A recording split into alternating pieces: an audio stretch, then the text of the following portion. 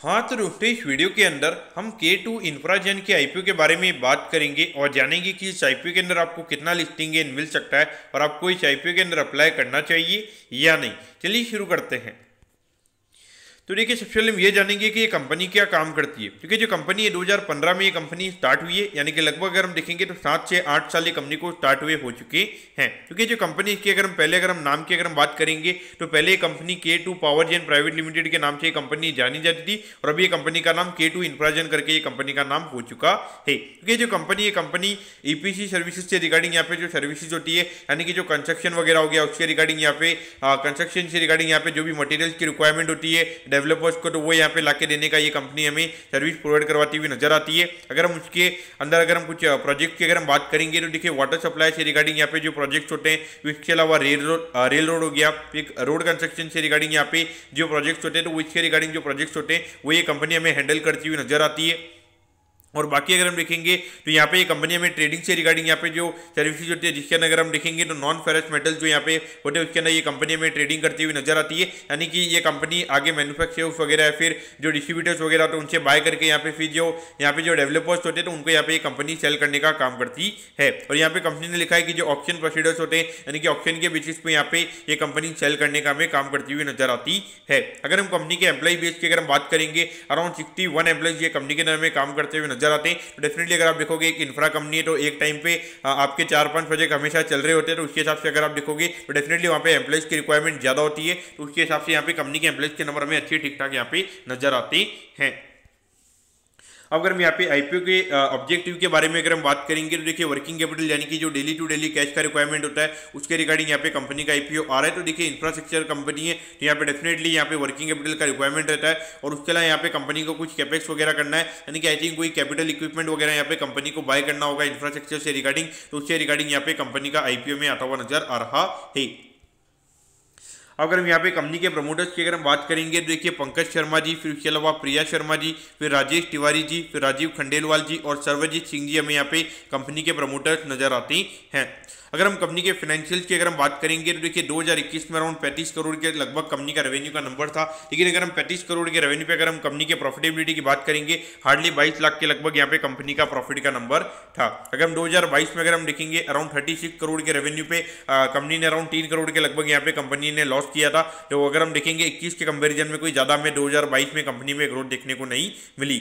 लेकिन अगर हम दो में अगर हम देखेंगे कंपनी का रेवेन्यू का नंबर हमें डबल से भी ज़्यादा यहाँ पे बढ़ता हुआ नज़र आया। अराउंड सेवेंटी करोड़ के लगभग कंपनी का रेवेन्यू का नंबर हमें यहाँ पे नज़र आता है। और उसके अगेंस्ट यहाँ पे लगभग 11 करोड़ के लगभग यहाँ पे कंपनी ने प्रॉफिट किया है। यानी कि लगभग यहाँ पे तेरह से चौदह परसेंटेज के लगभग का नेट प्रॉफिट का मार्जिन हमें यहाँ पे कंपनी का नज़र आता है।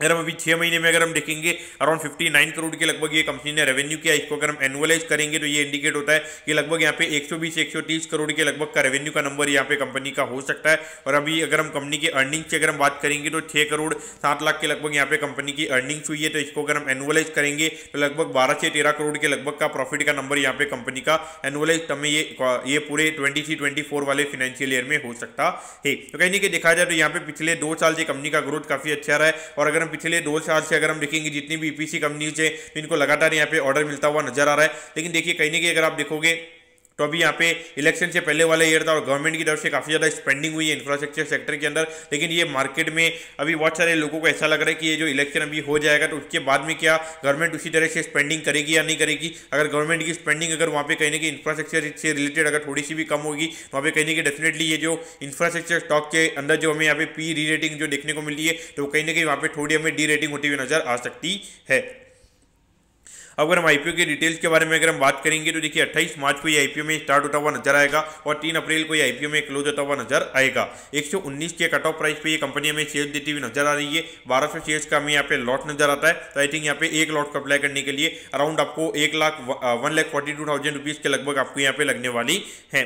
अगर हम इश्यू साइज़ की अगर हम बात करेंगे तो around forty crore fifty four lakh के लगभग का आईपीओ में यहाँ पे नज़र आता है। इसमें अराउंड थर्टी फाइव परसेंटेज के लगभग का रिटेल कोटा है। यानी कि लगभग चौदह पंद्रह करोड़ के लगभग का रिटेल कोटा में यहाँ पे कंपनी का नज़र आता है। और ये जो कंपनी है कंपनी में एनएचई के एसएमई प्लेटफॉर्म पे ये कंपनी हमें लिस्ट होती हुई नज़र आएगी।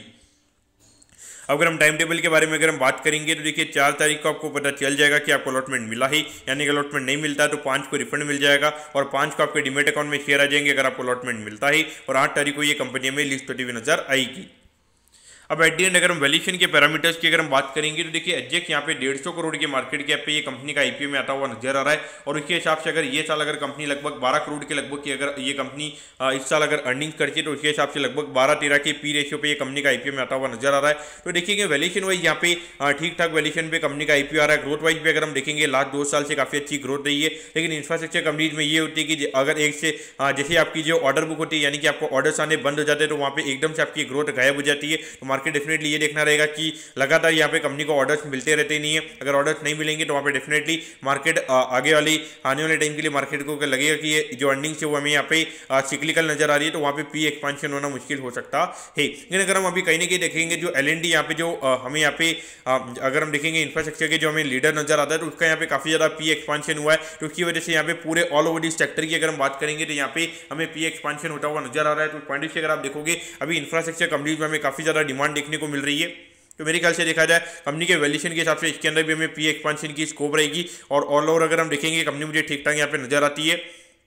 तो मेरे ख्याल से तो मुझे लगता है कि डेफिनेटली आपको यहाँ पे लिस्टिंग इनके लिए अप्लाई करना चाहिए और वैल्यूशन यहाँ पर अगर आपकी साइड में, अगर बाई चांस अगर आपको लिस्टिंग पे अगर इसी रेट के आजू बाजू अगर ये, यानी कि पाँच दस परसेंट प्रीमियम या पाँच दस परसेंट डिस्काउंट पर अगर आपको ये शेयर मिलता है तो मेरे ख्याल से वहाँ पर लिया जा सकता है। वहाँ पे कहीं ना कि जो आपका रिस्क रिवर्ड रेशियो होगा वो आपके फेवरेबल में होगा तो उसके हिसाब से मेरे ख्याल से लॉन्ग टर्म के हिसाब से भी यहाँ पर नज़र बनाई जा सकती है और उसके अलावा मेरे ख्याल से लिस्टिंग इनके लिए भी डेफिनेटली यहाँ पे अप्लाई किया जा सकता है। दोस्तों, मैं करता हूँ कि के टू इंफ्राजन के आईपीओ के बारे में आपको सब कुछ समझ में आ गया होगा। अगर आपकी कोई भी क्वेरीज है आप कमेंट कीजिए, मैं ज़रूर आपके कमेंट पर रिप्लाई करूँगा। ओके दोस्तों thank you have nice day